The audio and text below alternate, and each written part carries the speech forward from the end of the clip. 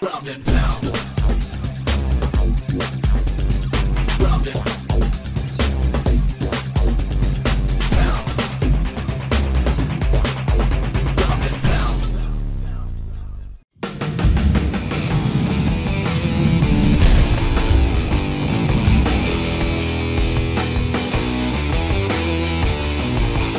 Herzlich willkommen zurück zu GNP One TV, live aus Weißensee, der Rölkestraße zu Sprawl and Brawl 4.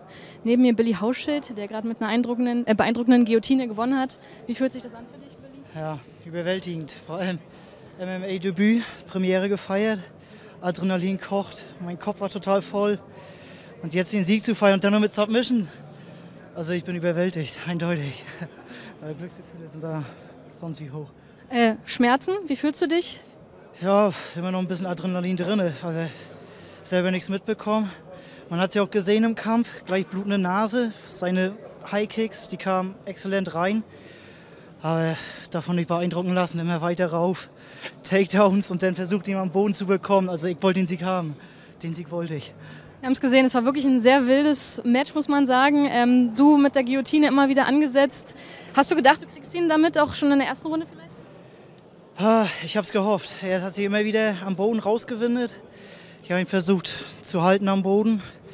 Immer wieder rausgekommen. War, hat mich dann noch ein bisschen gewurmt, aber zum Glück dann kurz vor der Pause habe ich den nicht bekommen, eindeutig. Wie hast du dich denn explizit auf diesen Kampf vorbereitet? Ja, tägliche Trainingseinheiten. Zusammen mit Umzugsstress und so, vor allem in der letzten Zeit der Vorbereitung. Immer wieder ein paar Probleme gehabt, trotzdem immer versucht weiterzubeißen. Keine Pausen zu machen, tägliches Training. Ja, Wie geht's jetzt weiter für dich? Wann sehen wir dich wieder kämpfen? oh, erstmal sacken lassen, alles Revue passieren lassen. In Ruhe auswerten, wieder reinkommen mit Training. Und dann in naher Zukunft, ich bin angefixt, ich will mehr. Ja, das hoffen wir auch, dass wir dich weiterhin sehen. Nochmal herzlichen Glückwunsch auch von uns und äh, sportfrei.